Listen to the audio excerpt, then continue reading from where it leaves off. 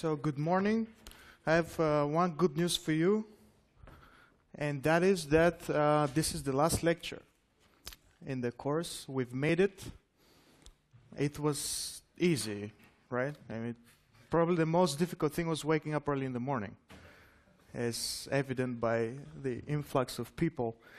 Um, I hope that a lot more of you show up after the break so that we can have the course evaluation. The forms are over there.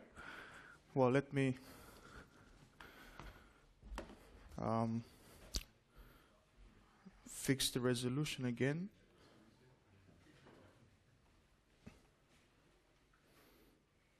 Oh, and now I understand what the problem was. Oh, God. Just doesn't want to.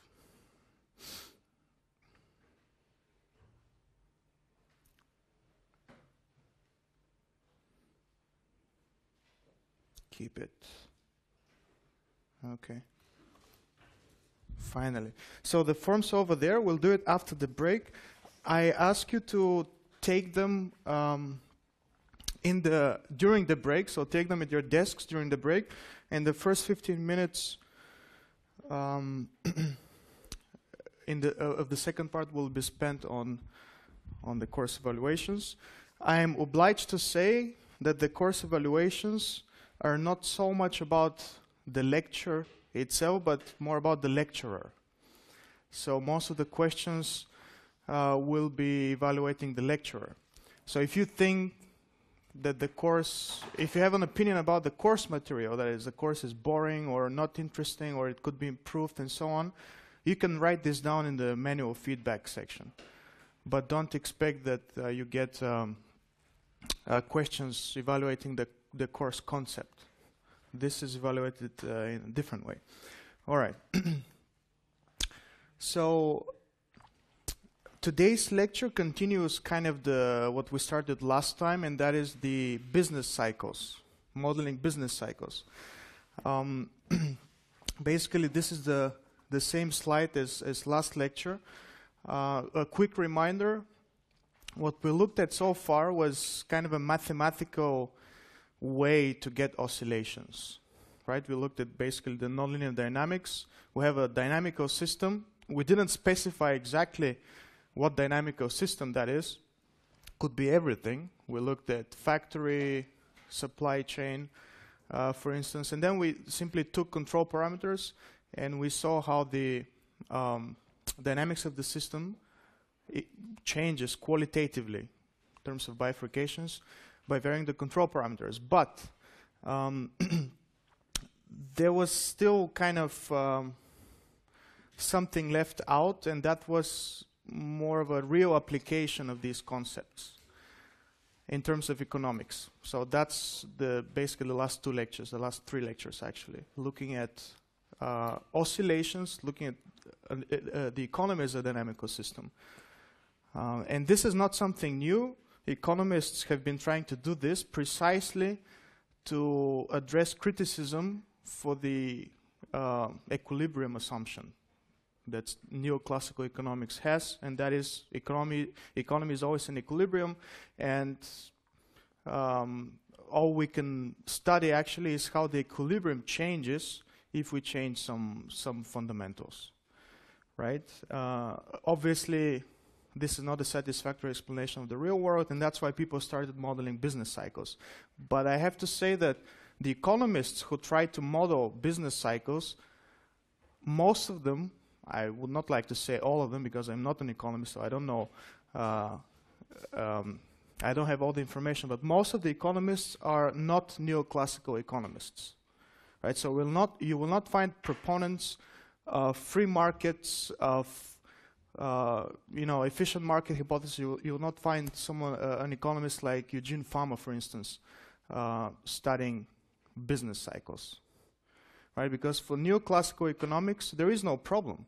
If we're in a recession, for instance, there is not enough supply, uh, uh, there is not enough demand for labor, then what will happen is the wages will go down and eventually it will become profitable for employers to hire again and then the economy will bounce back. So there is no problem for, for neoclassical economists to explain recessions and, and, uh, and business cycles. But it's still not satisfactory. So all these economists, um, starting actually quite a long time ago, 1938, they've been trying to kind of depart from this classical view. Uh, and that's why we emphasize here. This is not an economics course, but I just like to give you some kind of economics uh, foundation for for doing this. It's not just because we like to have some mathematical equation and call this variable supply and this variable demand. Last lecture, I introduced the Kaldor trade cycle. It's one of the most famous business cycle models. I saved the economics behind it. It's written nicely in, in Kaldor's paper. Um, now I'm thinking that it may be a good idea to introduce the economics. Uh, so I will probably, well, introduce it briefly. So I will probably do it next uh, next week at the summary lecture. I will introduce this um, quickly, these nonlinear functions, investments and savings functions, and explaining kind of the economic rationale behind the slopes and the shapes. Basically, it would be a summary of the Kaldor's paper. It won't be new to you if you've read the paper. Today, we continue with more business cycle models. Um, and these are the models, with the exception of, yeah, well, now, now I cannot use this, this tool.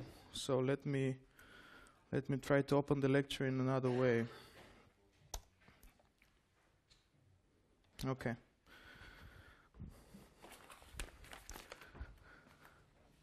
Now I can do this right. These are the models we're going to be studying about, uh, we're going to be talking about, uh, with the exception of the second one. Uh, it's just we don't have enough time. So all the others we're going to address, uh, with the exception of the second one. So the first one, um, how many of you have heard the name Keynes, the, the economists? The economist. Oh, wow, nice. So you probably you probably know his um, his economic idea, which is not as what popular opinion holds that he's a socialist or communist. He's actually trying to fix capitalism. So his main concept is that through fiscal politics, so government spending, public spending, you can fight recessions, right? So if there is a recession and there is not enough private investment, so firms don't want to invest, don't want to hire, then it's the government who can step in. And I always think about all the construction work going around Zurich all the time. Uh, although to me they sound like perfectly, uh, they, they seem like perfectly good streets, but they're still being reconstructed. So it could be, um, and probably it is some kind of uh, Keynes concept there. But he, this is his main idea the government, through fiscal politics, can fight recession. Obviously, this is uh, at odds with the standard markets are most efficient, all this kind of stuff. Uh, so, um well, Keynes was targeted, was criticized a lot, especially by uh, Milton Friedman. He's another famous economist, uh, proponent of the efficient market hypothesis and so on. But that's irrelevant. The point is that all these models, if you want to model business cycles, you kind of assume Keynes' position.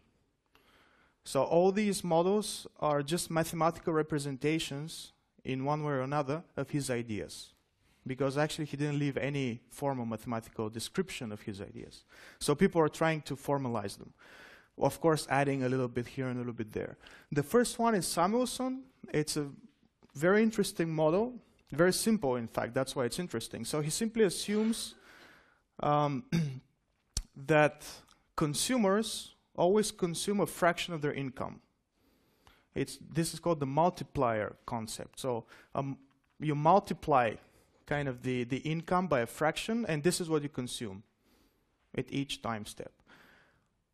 Um, investors, they invest a fraction of the increase of consumption right? So if consumption increases by, let's say, um, 1,000 arbitrary units, the increase or the, the differential in consumption, then investors would invest a fraction of this, uh, not, not, I mean, not a fraction, but a multiple of this. It could be larger than one, and this is called the accelerator. Uh, we'll see this in, in, details.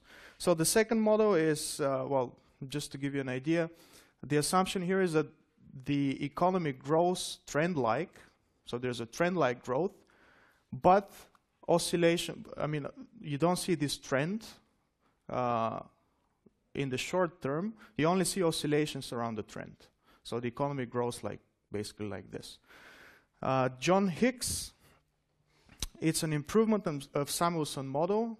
We'll see what improvement exactly, and then uh, when you look back in, in this slide in retrospect, you will you will understand what this means. And the Goodwin model is different from all these other models because it explains business cycles endogenously. Probably you're all familiar with exogenous versus endogenous.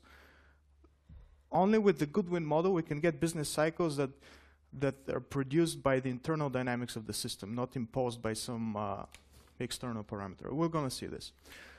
So Paul Samuelson, I tried to, oh, by the way, I forgot to say, this is a brand new lecture. So it was never given in the years before. Uh, so uh, these are kind of infant slides. And um, yesterday I was going through them again, and I found a lot of typos. So depending on when you downloaded the slides and printed them out, you may have a slightly different version. So to be safe, just download them again. They would be the correct ones. If you've downloaded them in the morning and printed them out just now, then you're fine. All right. Um, I, I, tried to give you a little bit of information about each economist. So, for instance, uh, Paul Samuelson was already at university at the age of 16. You can read this. Uh, you can read this at your leisure. Uh, he he's the author of the best-selling economics textbook of all time. So that's that has to count for something. All right, let's get right into the model. By the way, I forgot the other presenter, so I'll try to keep track of time with my uh, with my cell phone. All right, so Keynes was originally originally suggested the idea of the multiplier, and the multiplier is simply this. This is the multiplier. For historical reasons, a parameter like alpha was uh, I mean, came to be called the multiplier, although it's just a fraction. I would call it a fraction, but nevertheless. So the idea is that consumers are backward looking. So they see what their income was in the previous time step, or last year, and they consume, and currently they consume a fraction of it. All right? And this is the multiplier effect. This is the original suggestion by, by Keynes. Now, Samuelson came and he introduced also the idea of the accelerator. So another, for me, it's again just a parameter beta, which could be called a fraction, but uh, yeah, it, for historical reasons, it's called accelerator. So we have the multiplier here. This is consumption. Um, and the investment now is um, consists of two of two parts, and you can recognize Keynes' uh, touch here. So investment consists of autonomous part, which is always there. You can think of this as government spending, constant government spending at each time period. So it does not depend on the economic condition at the moment. It's always there. This is the autonomous part. And we assume it, it's a constant at each time period and the induced investment. So the induced, the induced, inve induced investment, this is the IT and subscript, uh, superscript IND. Uh, this is what private investment is. So you induce capitalists to invest. And how are they induced? They're induced via the accelerator concept, this one here. So they see how much consumption or demand has increased over one time period. And they invest in production in order to satisfy this increase. Right? So they're not really extrapolating or, or doing some fancy statistics on, on the demand, right? They just look at the most recent demand increase. Right? So if that is positive, then they would have to invest more in production in order to satisfy this expected demand. So that's the idea, accelerator and multiplier, and you can see how the two interplay. So if the government jumpstarts the process by investing something, and actually it's the next slide, but I'll explain, explain it now. By investing something, consumption would increase, right, from zero. Suddenly we have an output, an output generated entirely by the government investing. This is the autonomous part. Consumption, positive consumption would, so consumption would increase due to the multiplier. Then the increase in consumption would be kind of modulated via the accelerator and produce investment, induce investment actually. Induced investment would increase the output. Increasing the output increases consumption, and this increases the differential here. Investment increases again, consum output increases again, consumption increases again, and so on. And you can probably see where I'm going. It's an explosion, right? And and we'll see that this is in fact what can happen, what in fact happens. Um, and yeah, so this bullet point basically explains this uh, this interplay. Samuelson just made a simple calculation, so he did not go through computer simulations, bifurcation diagrams. He just uh, made this simple table. So here we have the current government expenditure, well, that is the autonomous part, right? So here is the assumption that government is providing at each time step something. So in the beginning, there is no consumption because there is no output. There is no investment because there is no differential in consumption. The only thing that can happen is the government jumpstarts the process by investing, I think this is dollars. Yes, by investing one dollar. It could be a bit confusing, but this is a one, it's not a capital I. So investing one dollar, the total, the total outcome or the total output would simply be one dollar, right? Remember, the output is equal to consumption plus investment. Consumption is zero, investment is simply the government investment here. So that's one dollar. So output is one dollar. Um, yeah, so I forgot to say that alpha is 0.5, so uh, consumers consume half of, the, of their income, and uh, investors, they simply take the accelerator to be one. In the next time period, consumers would see, oh, we had $1 of aggregate income, so this is aggregate uh, income, let's, let's consume half of it. We consume half of it. There is now a differential in consumption of 0.5. Therefore, the induced investment would be 0.5. The government still keeps investing $1. Therefore, the total outcome of the economy or output of the economy would be $2. And in the same way, you can go on and you see what happens to the total outcome. It grows grows, and then it starts to decline, decline, decline, and then it starts growing again, starts declining again. So you can probably already uh, you can already spot that given these parameters of alpha and beta, we get kind of a cyclic behavior. In fact, this is not a cyclic behavior, these are damped oscillations. We'll see a phase plot later on. But this model can produce cyclic behavior at a very, very limited parameter range, which is one of its uh, deficiencies. Um, so you're probably wondering what, what does this mean minus 0.125? So this is uh, induced investment is negative, right? This simply means that the investors or capitalists they do not invest at all. They just simply let things depreciate. So that's why, in a sense, uh, some some part of the capital good is lost because it gets depreciated and it's not covered by by uh, induced investment. It is covered though by government investment, right? That's why the total investment can never be less than zero. Okay. so this is a very simple description of the model. Let's look at how it look uh, how how it behaves. Um, in a more systematic way. As I said, the, out, the output of the economy is just equal to consumption plus investment.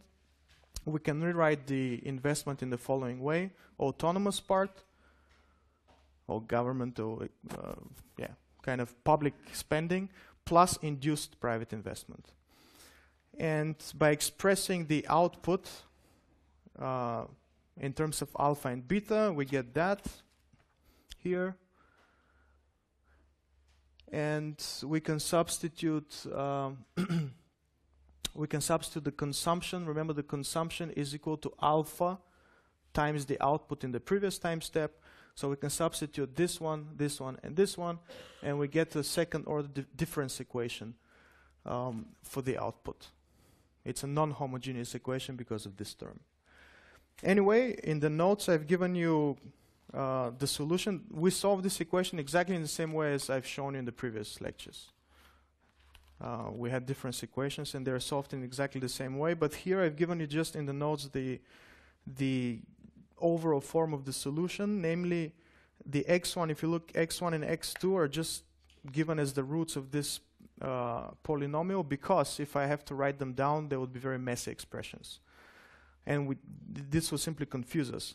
But if you just look at it, you can immediately see that if x1 and x2 are both negative, we get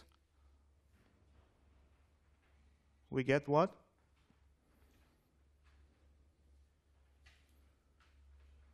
It's, it's in the notes.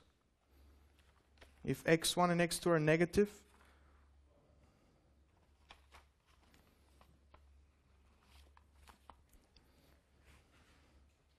what do we get? Do we get explosion? No. We get damped oscillations to the equilibrium value. Conversely, if they're positive, we get explosions. So only when they're kind of the interplay between x1 and x2 is is is balances somehow eh, balance them out, then you can get oscillations. But we'll see that this is in a very limited range. All right, so this is the equation. The stationary state is given by y bar. And you can calculate the stationary state easily by setting yt equal to yt minus 1 equal to yt minus 2. Right? This is what stationary state means.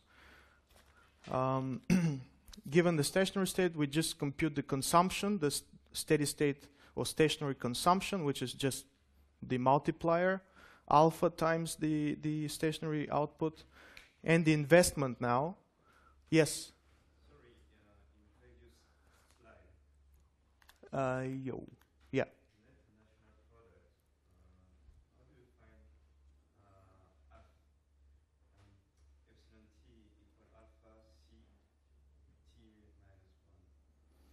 uh, alpha ct minus 1. Oh, yeah, so there's another typo. So this should not be c, but it should be y. Okay? It's simply, what we're simply doing is consumption plus investment. Consumption should be alpha times yt minus 1 and then this is the investment. Good, thank you.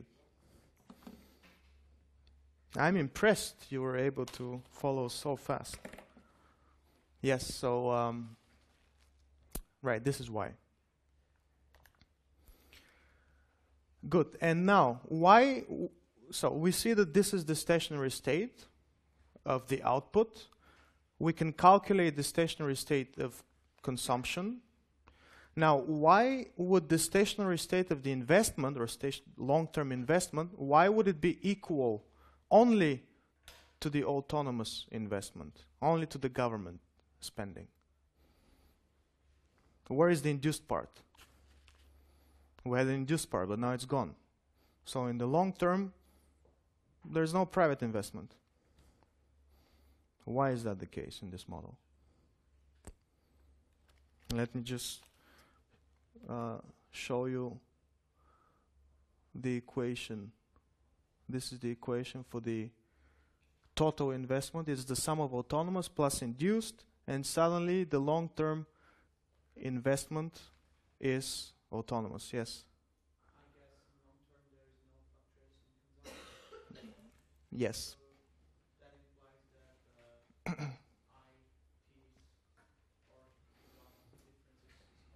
Yes, that's true.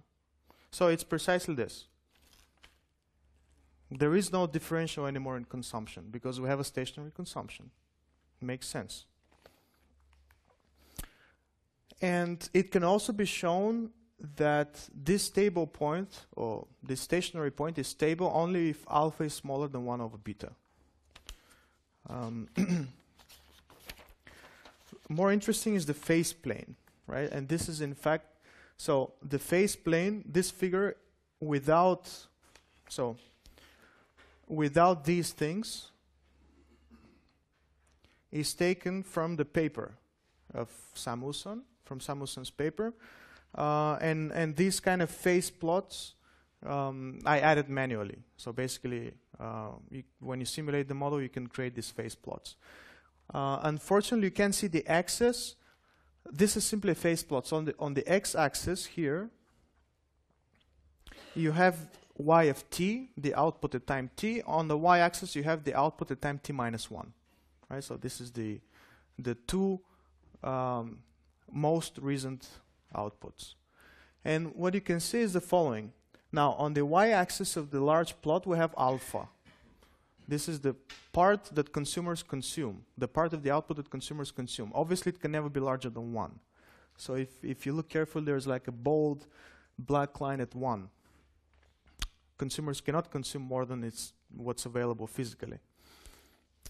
Uh, beta, on the other hand, can go basically in any, uh, any range. So in, in a sense, this is kind of the reaction of investors. If beta is very high, they really overreact to any differential, any small differential. If it's small, they're not sensitive at all. So what we see is the following. By the way, uh, I've tried to do it uh, to put the plots where in the regions where they belong. For instance, in the region B, region B is basically everything below these curves. This is region B the dynamics looks like this. At region C, which is simply the, the space, the area between these two curves, is this one. Region D is the area between the horizontal line 1 at 1 and this. And now region A is just this little thing here. This little area. But I couldn't, put, uh, I couldn't put this plot here, so have in mind that this plot refers to region A. It's not that this plot refers to values of alpha which are bigger than 1, which obviously doesn't make sense. So what we see, and what you cannot see, unfortunately, uh, these little arrows, I hope you can see them, but this arrow, this arrow, and yes, so this arrow and this arrow, they point downward. So the dynamic starts from here, and it finishes here. Here the dynamic starts from here and ends up here. This one starts from here and explodes. Uh, no, sorry. This one starts from here and again goes to a stable state, like that. And this one simply increases all the time, so the arrow points upright. So what we basically what you can see is that for most of the parameter ranges, if if not yeah, for most of them, you either get damped oscillations like region A, B, and C, or exploding oscillations, which is region D. That's that's the only thing you get. Only when alpha equals one over beta, which is that line, uh, this line here. Basically this one. This, this line. So this is when alpha is equal to 1 over beta. Only then do you get oscillations. And I've put the plot there. You can see there are oscillations there. So it's kind of a business cycle model, but it produces business cycles as kind of an exception, right? In most cases, it either explodes or dies down. And that motivates a lot of the critical points on this slide. So, uh, namely the, the third bullet point. Business cycles are only uh, a boundary case. But moreover, um, the cycles have a fixed duration and fixed amplitude. You can show that, which is obviously again not realistic.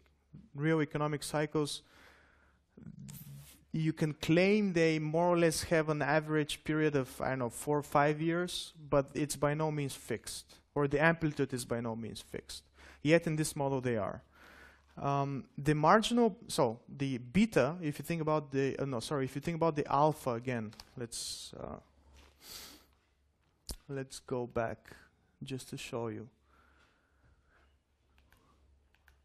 Right, if you think about the alpha again, you can interpret alpha also as the marginal propensity to consume, right? If you differentiate this thing um, with respect to consumption, then you get the marginal propensity to consume is alpha. Uh, yeah. So one unit of output induces alpha times this unit uh, units of consumption. It's constant in the model, right? Alpha is constant, but of course this is not again really realistic. We know that actually it's been shown that as people become more wealthy and wealthy, their consumption kind of saturates at some point. There's only so much they can physically consume. So alpha is by no means constant in the real economy. Um, yes, so everything else I said. Um, and I've, I've said here that as a response, uh, the nonlinear Hicks model was developed. Now, why is it nonlinear? Or in other words, why is this model linear? If you look at the equation for the yt, uh, so yt equal uh, is, um, is a function of yt minus 1 and yt minus 2, you would see that it has linear coefficients, so it's a linear model. Therefore, John Hicks developed a nonlinear model, mm, which is an extension of this one, and he tried to address these critical points, some of them, not all you'll see that some of these points still remain in the Hicks model. So this is uh, John Hicks. In fact, I should have said Sir John Hicks because he was knighted uh, in his lifetime. But this is the model. So his idea was very simple. He said, well, I mean, it's kind of a first order solution if you'd like to think about it in this way. He saw that the Samuelson model produces explosions or, or complete uh, kind of um, convergence to, to zero or to the autonomous investment. So he said, well, let's introduce upper bound and lower bound for investment and for output. So one way, one very easy way to prevent explosion of output is just to limit it artificially. Well, of course, he was a bit smarter than this. He just he didn't just say, let's limit it artificially. He tried to give economic meaning for these bounds. Uh, and you can think about it in the following way. Well, I think, yes, I will explain the bounds uh, in the next slide. So the idea was the following. For Hicks now, the investment was still a sum of autonomous investment, but now it's not a big difference actually. Now the induced investment, so investors do not respond to, to differential in consumption, they respond to differential in output. It's just a kind of a generalization of this idea that investors respond to a differential of economic activity. You can measure economic activity in terms of consumption or in terms of GDP, for instance. So here is GDP. So it's the gross or GNP, um, if, if you don't have uh, trade. So, um, right, so this is how the investment looks like for Hicks. Consumption is still the same, still uh, the same multiplier model. And then uh, if you just do the exercise um, of expressing output uh, as a difference equation, you get this. This is without the bounds.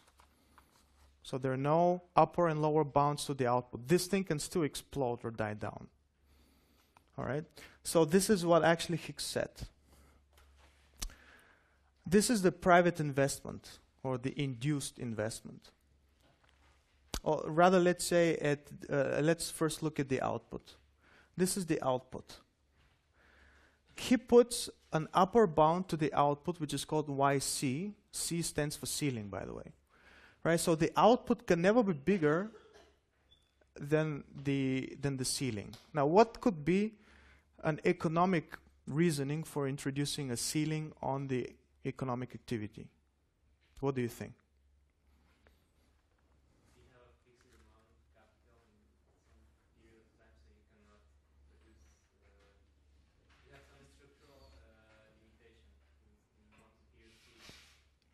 Yes, so yeah, basically that's the economic reasoning. There's only so much investment you can do. At some point, uh, making new investments is not profitable, right? It's the so-called diseconomies of scale, right? You're limited, your resources are limited. Employment, so em employment is limited. The physically, the amount of people you can hire is limited natural raw materials are limited, so there is a limitation to production, which you hit at some point. In fact, this is one of the criticisms of this model that, uh, yes, in principle, it is possible that we hit this kind of, as you said, structural limit to investment, uh, but we're not sure if we can ev uh, ever reach it in real life, right? Because the examples when people have not been able to invest because they couldn't hire more people physically or because they couldn't get more raw materials uh, are not so many at all. So, but that's, that's for later. For now, um, this is the ceiling. Now, his idea for, for a floor on investment is the following. So F stands for floor. You see the induced investment or the private investment can never be lower than this floor. And this floor is negative. So the idea was the following. Um, you have some kind of capital goods, a certain amount of capital goods. Let's say you have 10 factories, for instance. At each time period, they depreciate, as you all know. So there is depreciation. Um, if you do not cover this depreciation, you're kind of, or, or let's say, yeah, so the idea was this. If you do not cover this depreciation, at all, so you, invest nothing, um, you're kind of, let's say this is the worst thing you can do. In the sense that um, if you don't cover your depreciation and then in addition you sell some of your factories, this would be equivalent to actively destroying capital. This was Hicks' idea. And he didn't think that on the aggregate, people or capitalists actively destroy capital. So if the output, um, if the output goes down, if the differential in the output goes down, let's look at this. This is the accelerator. So if this is negative, which means that the output goes down, there is a recession, this tells you that you have to disinvest. Disinvest meaning negative private investment, so you kind of sell your capital goods on the market. But if you need to disinvest more than your depreciation, this would amount uh, to actively destroying capital. And, and Hicks didn't think that this is uh, what people do. On the aggregate, it may happen that individual people indeed not only let their machines depreciate, but they also sell them, disinvest them. But on the aggregate, he didn't think this is the case. So if you see a recession, if you're a capitalist, and you see a recession, the worst thing that you can do is to refrain from investment. So just sit, let your depreciation go. Let your depreciation go. So the, the worst disinvestment that you can do is your depreciation. Not worse, on the aggregate, that is. That's, that's how Hicks reasoned uh, for this floor of the investment.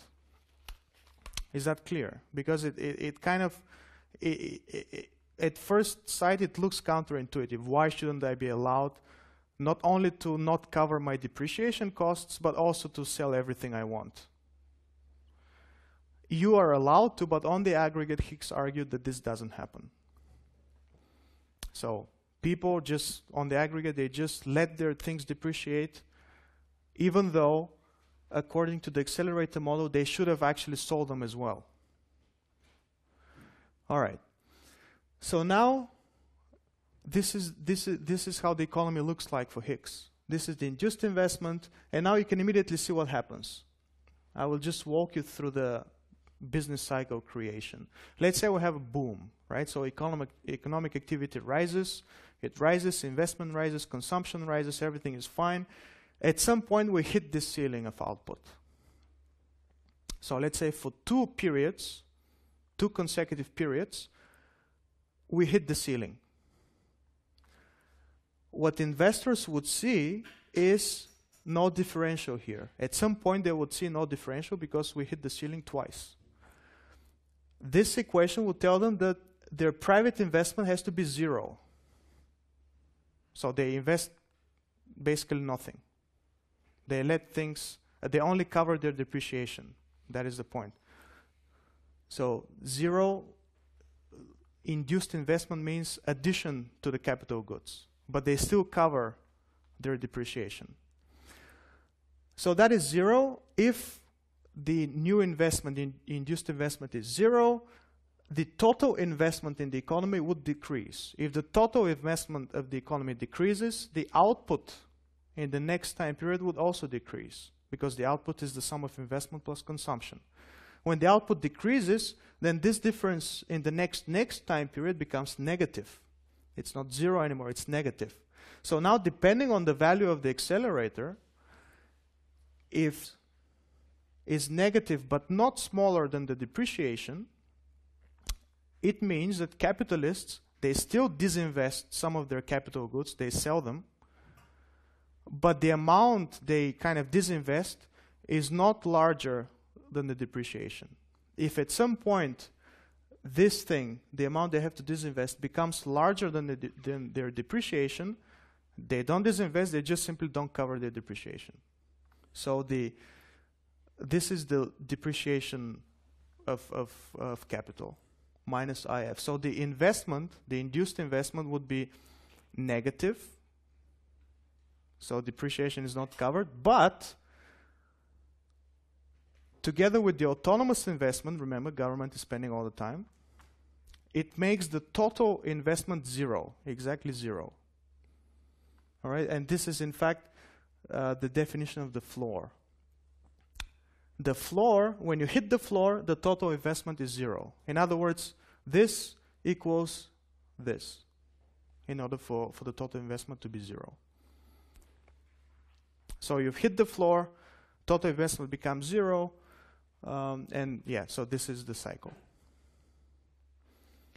You have to implement this in Vensim, so um, you you get a much better intuition how it, how it works with the ceiling and the floor. Uh, by the way, uh, this is a new kind of a self-study. So I still haven't done the Vensim models. There are two models that you have to develop. It's the Hicks model and, and uh, one more that you'll see. So I still don't know if it's possible, but I assume it is. So uh, let's see. All right, we'll continue after the break.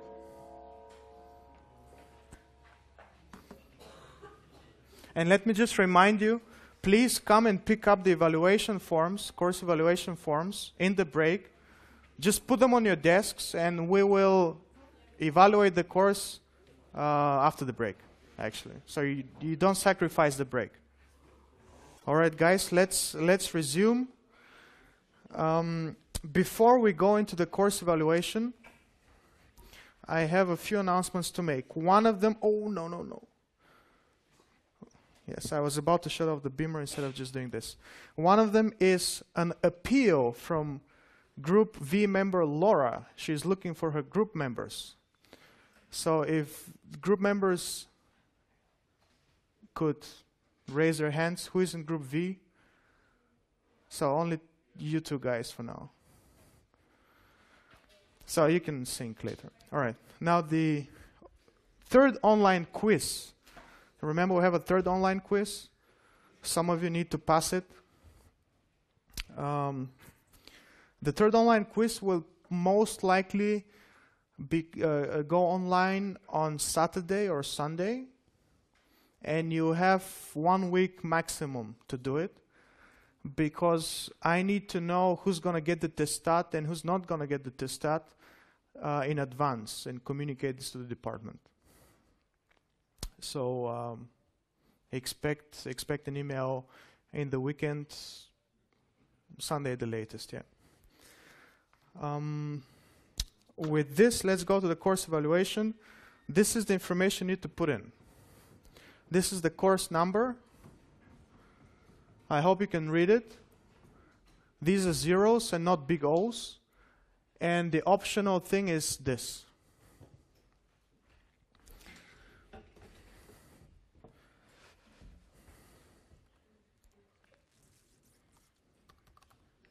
And let's say we can spend about 15 minutes, 10, 15 minutes on this, on, on the evaluation. I mean, don't overthink it. Just be honest.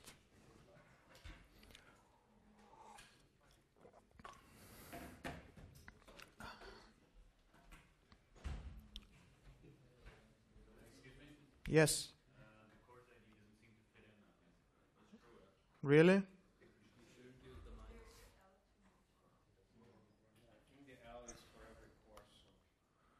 Uh, one sec. Yes, so basically, let me see. It should fit. 351. If you skip the hyphen, it fits. No, 541. Uh, well, this is what they gave me. Okay. I trust you then. All right. So don't put the L. Does it fit now? Okay. Let me see if I'm obliged to say something else. Da, da, da. Yeah, it's it's about me. It's not about the lecture. That's what I have to tell you. But you can still put your opinion about the lecture in the manual feedback.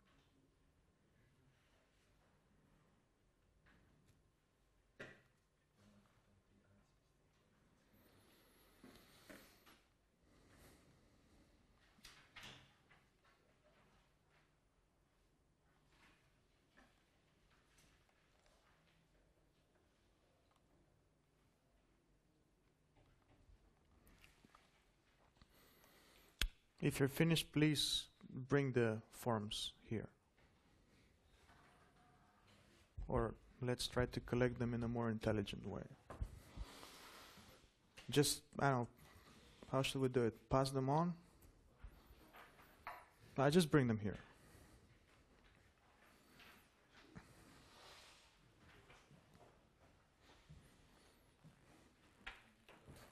Thank you.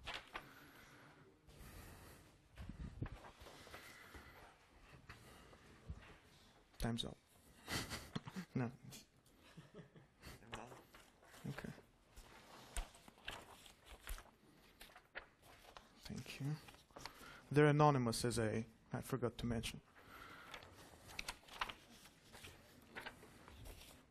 Thank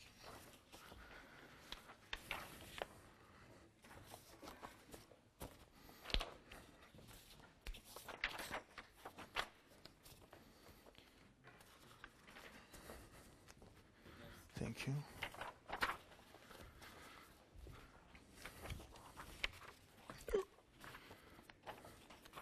Thank you.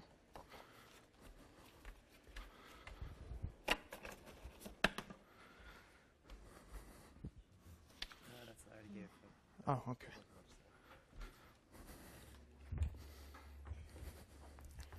Thank you.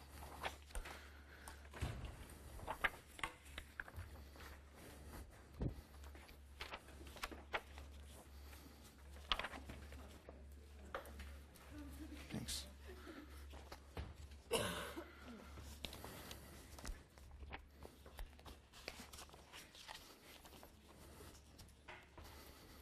You guys are done? Does it work? Because I already write. Yeah. Yeah, yeah, it does. Thank you. Yeah, yeah.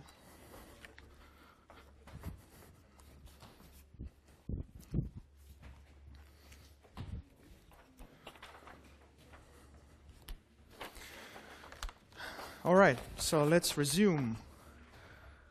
Oh.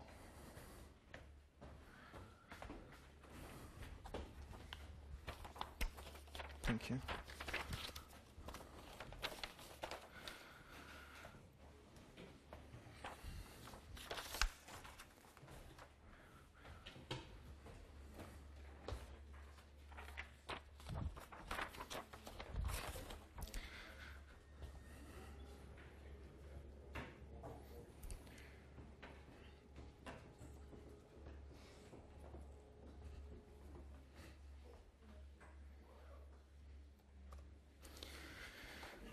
So we were I was describing the Hicks model. the economy in Hicks model is given in the Hicks model is given by these four equations. Thank you. And the most notable thing to notice are the two upper bound the upper the two bounds, the upper bound and the lower bound. The upper bound is on the output and the lower bound is on the investment. Once again, let me reiterate, there is only so much output that we can produce physically, and there's only so much disinvestment that we can do without actively destroying capital, which Hicks argued rational investors do not do. They simply refrain from investment. Now, if you calculate the steady state, by the way, these are as, as long as soon as you have max and min, you have piecewise linear functions. Or this is not linear in this case, but you have piecewise functions. Uh, doesn't don't concern yourselves with this. Uh, the point is that mathematically this model has not been fully analyzed yet. It's simply complicated. So um, papers come out all the time finding some exotic behavior of this model, which is more of a theoretical importance than any real practical consequences. Uh, just as a side information. So if we express the output in the same way as we did before, in terms of the output in the previous two time steps, so we get the difference equations, you get the equation number one. This is the yt. If you set yt equals to yt minus 1, um, to get the steady state uh, or fixed point, you get the YFP, which is this. Right? So obviously, if there is no government spending at all, meaning the autonomous investment is zero, uh, then the steady state is zero. So this this this model cannot support basically any economy unless you have government spending. That's the fixed point. It can still have oscillations around the zero fixed point. That's a different issue. So the two bounds, as I described them, the first one is the um, so-called full employment bound on the output. So as, as soon as we have full employment in the economy, we cannot produce more. This is as simple as that. Even though uh, there is investment and there is consumption, increasing consumption, and increasing investment, we cannot keep producing more because we have uh, basically diseconomies of scale, as, as mentioned here, labor force, raw materials, and so on. The lower bound is the so-called investment, lower bound on investment. What this means is, um, is explained here, when the output decreases too fast, which would indicate, according to the accelerator, that investment, or rather disinvestment, have to increase more than depreciation. In other words, not only will you not cover your depreciation, but you will also disinvest more.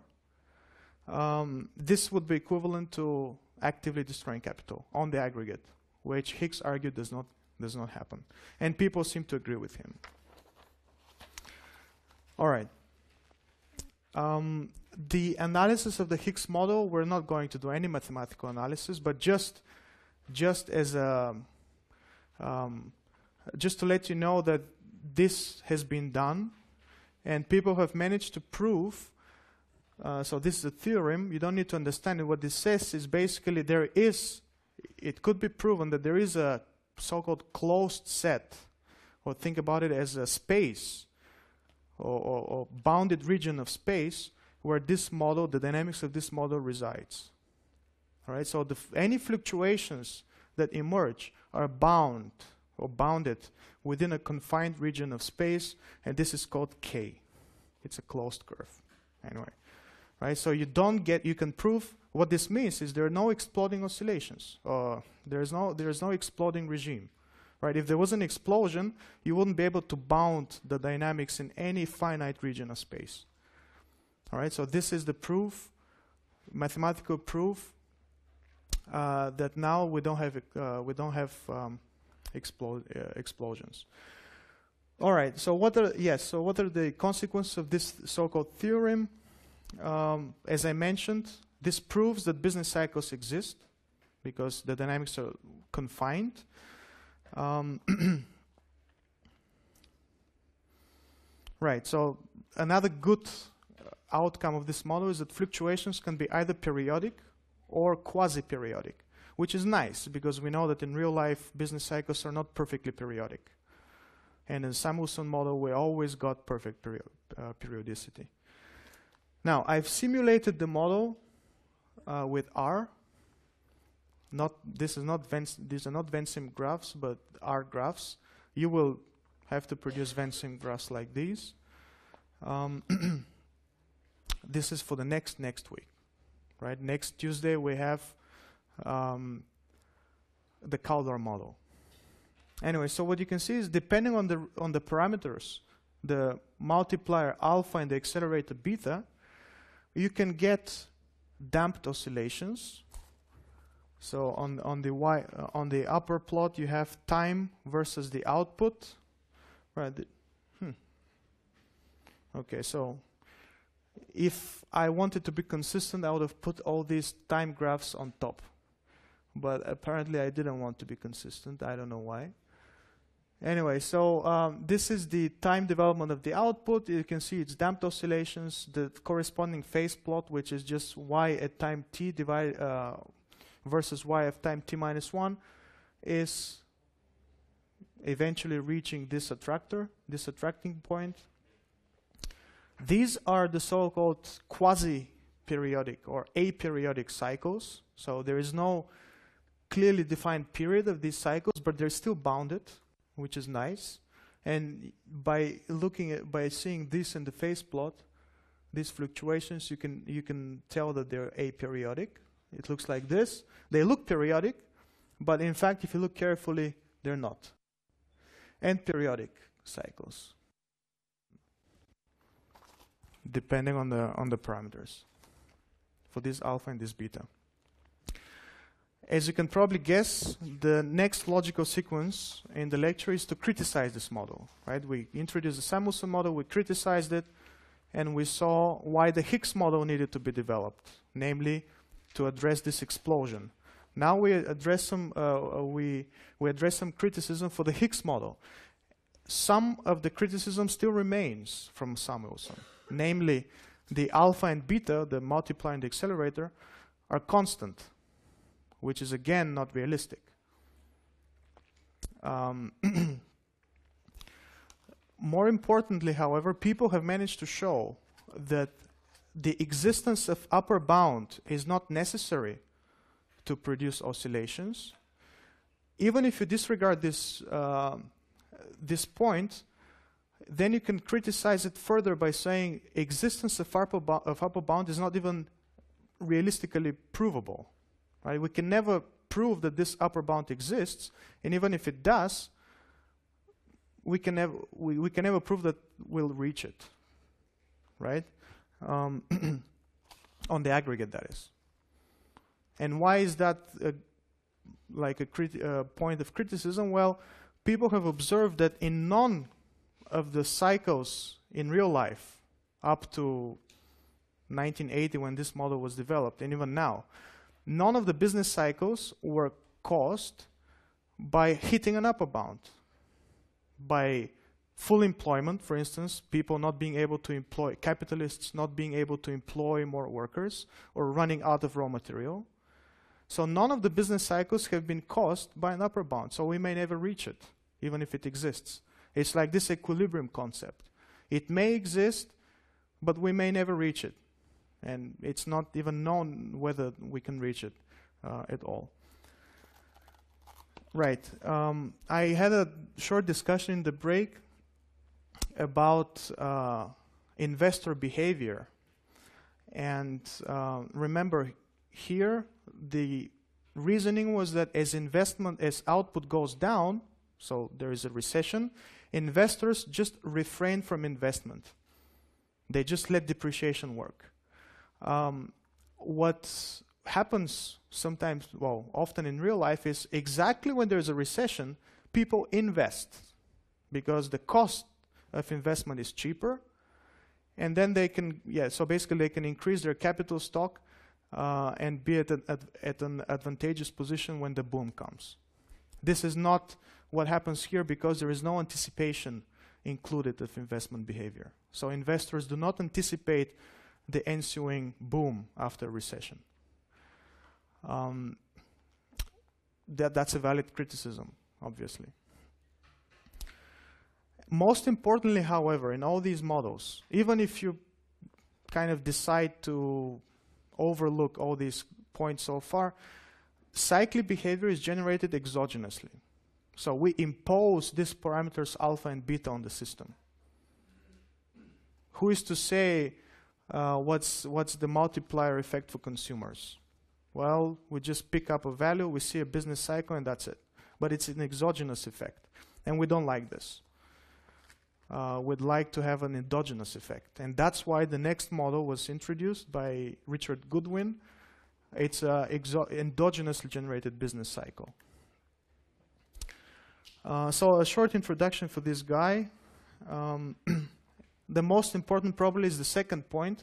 He is one of the founders of endogenously uh, modeling, uh, endogenous models of business cycles. Um, let's get right into the model.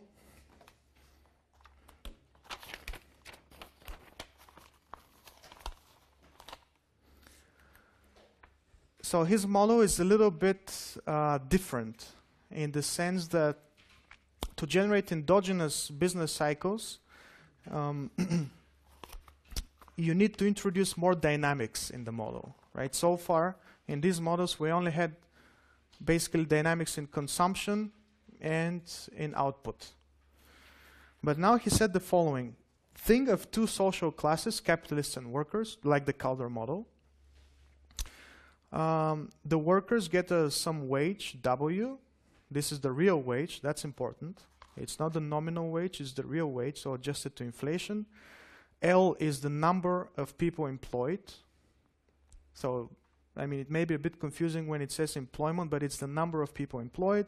Then, obviously, mu is the share of output that goes to cover costs of labor, so salaries you may think, for all the employers, right? So W times L is simply the total salary of all the employers, uh, of all the employees, divided by the output is the total share of output that goes to to cover these costs, and um, L over N is the share is the employment rate. Okay, so the yeah, it's self-explanatory. Now, um, capitalists, the assum- more assumption is that capitalists always invest everything they get. So they, the capitalists get some profit, they save everything, and by kind of assumption of classical economics, savings are used for investment. You know, they're not used to just have cash in the bank, but they're used for investment. So all the profits are reinvested back into the economy. This is what it means propensity to save is one. Basically, they always save everything, and in turn, everything is invested. By kind of uh, extension, consumers consume everything.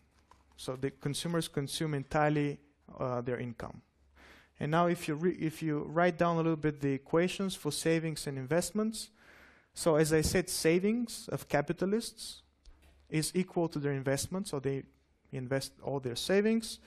Um, this investment goes to increase the capital stock, right? So K dot increases by the amount of investment. And here, if you remember the Solow model, we have not included depreciation of capital. In the original Goodwin model, he did not include depreciation.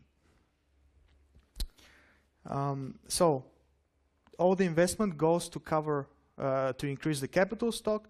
And then if you express um, uh, where is it? Right. So if you um,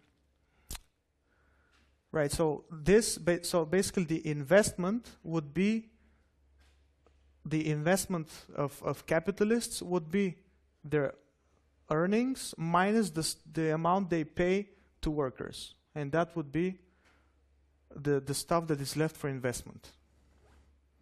So that's what they invest. So basically, this is an equation linking k dot with with uh, output and W and L. Further assumptions. These are a bit more economic assumptions now, and they would require a bit more explanation. Now, how many of you have heard of the Phillips curve?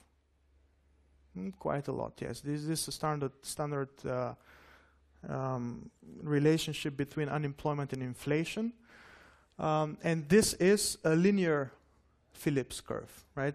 Most of you know this kind of nonlinear, well, rather like this nonlinear li uh, Phillips curve, but this is a linear Phillips, Phillips curve. What does this mean? This is the increase, the relative increase, because we divide by W, of the wage, of the real wage, right? So, in other words, the percentage increase of the real wage. This one here. And the reasoning goes as follows. At times of full employment, so this was the employment rate, remember? At times of full employment, uh, workers have more bargaining power, right? Because they can they can argue, well, uh, if you fire me, or if you don't increase my salary, I will I will leave, and you will have troubles hiring somebody else because we have full employment already. So when the employment rate is high, the real the increase in real wages is also also high, right? Because workers have more bargaining power. If we have a lot of unemployment, so basically the employment rate is very low, then workers' bargaining power decreases. Right? There is a lot more substitute for these workers available out of the unemployed population. Therefore, when this thing decreases, the real wage uh, also decreases. So if you if you look at this, this is a curve which basically goes like this. So on the x-axis you have um, you have uh, the employment rate. On the y-axis you have the relative increase in real wage, and it goes like that. So when the employment rate increases, bargaining power of workers increase, and real wage also increases. So this is the assumption for the rate of change, the relative rate of change of the real wage. Uh, typical assumption is that capital output ratio is constant. So basically, what does this mean, actually? Capital output ratio is constant. It means that out of, at each time period, a fixed proportion of the output is always capital. Right? So if the output increases, the capital goods, meaning machines, factories, and all this kind of stuff, also increase. All right? And you immediately see a deficiency in the model. There is no technological progress, no innovation. In real life, we know that due to innovations, the productivity of capital increase. So the productivity of a machine may increase and produce more output than before. But according to this, the only way to increase output is to buy another machine because the productivity of the machine is fixed. There is no innovation.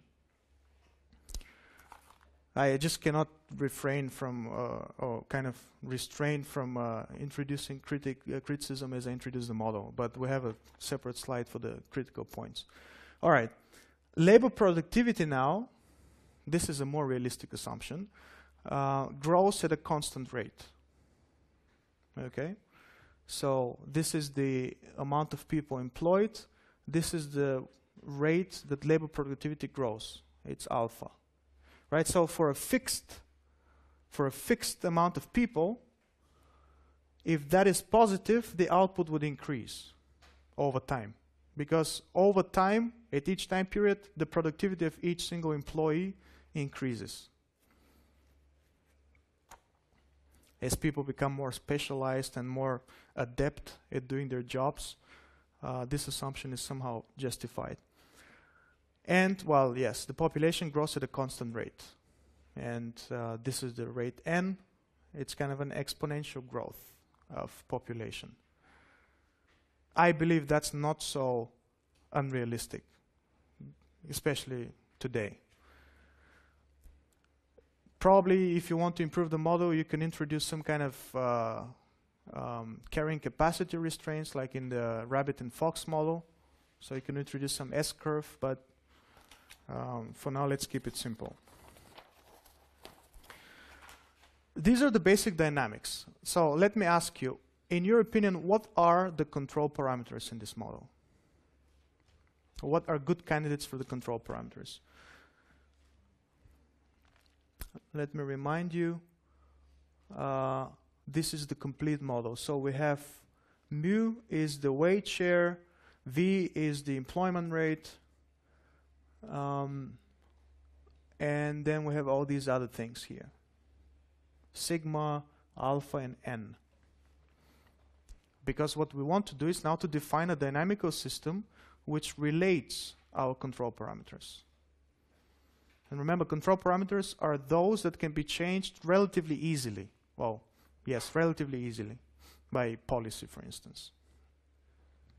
It's not actually so um,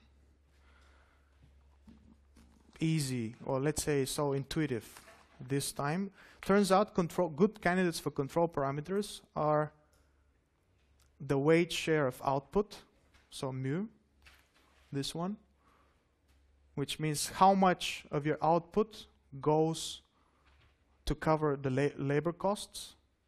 In other words, you can change W, the salaries. And V, this is the employment rate. These are things that change most, most often. So what we want to do now is to have two equations, two dynamical equations, coupled differential equations, relating mu and v. This is what we want. Now, I'll show you how to get a dynamical equation, uh, a differential equation, uh, relating mu dot, so the rate of change of mu, and and um, v, the employment rate. In the exactly the same way as an exercise, if you'd like, it will not be asked on the exam. You can derive the second differential equation relating v dot, v dot to mu. The only thing we do, the only thing you need to know is the uh, chain rule for differentiation. That's all you need to know. This is the whole exercise. Well, let's see. Mu was defined as this. So if you want an expression for mu dot, you simply have to differentiate that thing. You have to differentiate this thing. Well, what is the, with respect to time? Okay. What is the derivative of this? It's the, so think of this as w times L over y. Well, let's look. It's the derivative of w times L over y plus w times the derivative of L over y. It's the chain rule, right? So, uh, by the way, this dot refers to the derivative of this of this ratio here, not just to the der- derivative of L divided by y. So, if if you don't want to be confused, maybe you can put a bar here, or you can put a prime here, like I've put it here. Anyway, then we continue expressing it. This is this remains the same. The derivative of this whole fraction, L over y, remember L over y was defined, or rather y over L was defined as the growth of labor productivity. It was e to the power of alpha times t in the previous slide. Well, L over y then would be just 1 over e to the power of alpha t, or e minus to the power of minus alpha t.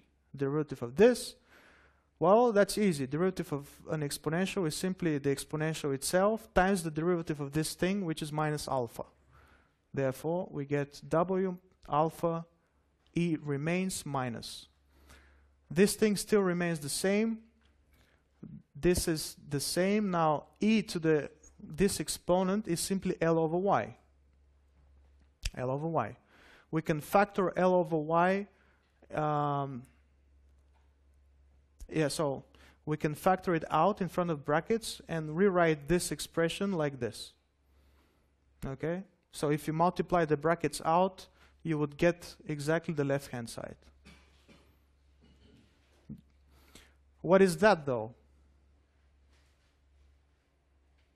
Well, this was defined as the rate of change of the relative wage, which was simply the linear Phillips curve, this one. Minus alpha times this is mu. It's the amount you pay to all your employees divided by the output. So the rate, uh, the rate, the share of output that goes to cover your labor costs. So it's mu. Therefore, we get a differential equation relating mu dot and uh, obviously mu, but also v.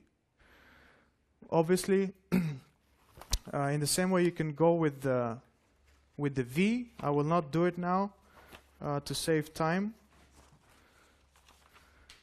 but it looks like like the one shown. So basically, our system now is these two coupled differential equations, and you know how to analyze it. First, we try to find the fixed points, and then we try to find uh, to investigate the stability of these fixed points. We already did this in lecture 10, I believe, where we were looking at uh, Jacobians and stuff like that. So one obvious fixed point, so just set these two derivatives to zero. One obvious fixed point is zero, zero, right? If mu is zero and v is zero, everything is fine. The derivatives are zero. This is a trivial fixed point. So we're not so interested in it. Another fixed point would be obviously when the expression in the brackets are zero. This one and this one. Right? So when this is zero only when V is equal to alpha plus gamma divided by rho. This one. In the same way, this is zero only when mu is equal to this. So this is another fixed point. And now we can calculate the Jacobian of our system, introduced in lecture 10. So the, Jacobian in general, the Jacobian in general is given by this. What does it mean in general? So not evaluated at the fixed point, but just taking the differential. So remember, this is uh, du. Uh, so we differentiate this thing with respect to mu, and we get the upper left entry in the Jacobian, this thing with respect to v differentiated, this thing with respect to v differentiated, we get the upper right entry, and so on. If we evaluate the Jacobian at the non-trivial fixed point, so not the 0, 0, but the other one that we found, the Jacobian equals to this.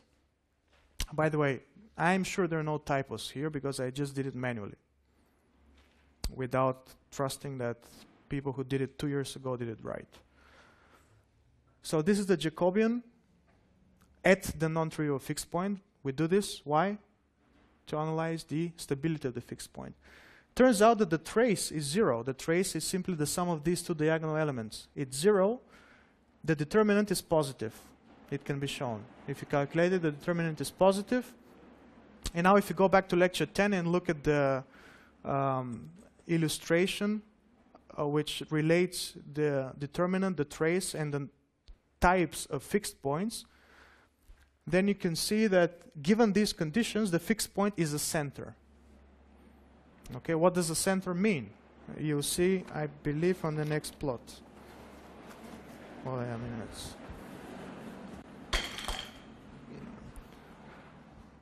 yeah, they're always building something. All right. this is what a center means. Now, this is our fixed point. Our fixed point is here. If we just disturb it a little bit randomly, we get orbits, increasing orbits. Well, it's kind of difficult to be very precise with this, but imagine kind of a spiral, increasing spiral, increasing spiral, which eventually settles down to this center, or this circle, this one. Okay? Now, if we're at this, uh, this center and we disturb it a little bit, and just by chance we disturb it uh, in, in a way that now the dynamics is here, a bit up, then again an increasing spiral would go to the second circle, and so on. So, starting from a fixed point, we end up in one of these circles, one of these many infinite number of circles, depending on the shock and obviously depending on, on initial conditions. Right? If the initial condition is here, if we start with the initial condition here, obviously we're going to converge to that circle. So that's what the center means. And this is nothing else but a business cycle, right? Look, mu on the v-axis we have well on the y on the x-axis we have mu, on the y-axis we have v. So what happens is uh, the rate the rate, the um, the share of output which goes to employment and the employment rate fluctuate. That's another way to uh, to quantify a business cycle. Instead of looking at output, how output oscillates, you can just look at employment rate and salaries. Right? So employ- when empl- employment rate increases, look at it here. When the employment, well, uh, let's look at let's look at this circle. The salaries increase here. Employment rate also increases. That's this assumption that when employment rate increases, bargaining power of, of, of workers also increase. Therefore, their their uh, salaries would increase as well. Right. So, employment rate increases, bargaining power increases, salaries increase too. So range, uh, share of output that goes to salaries increase. At some point, however, the opposite happens. The salaries decrease, whereas the employment rate increases. So that's kind of a predator-prey dynamics. that we saw with the rabbits and foxes. Well, it's not exactly predator prey, it's like predator prey. So these are the business cycles. And again, some criticism. Um, it turns out that if you introduce just small fluctuations in the model, very small, but which are nevertheless economically meaningful. And for instance, I've given you an example.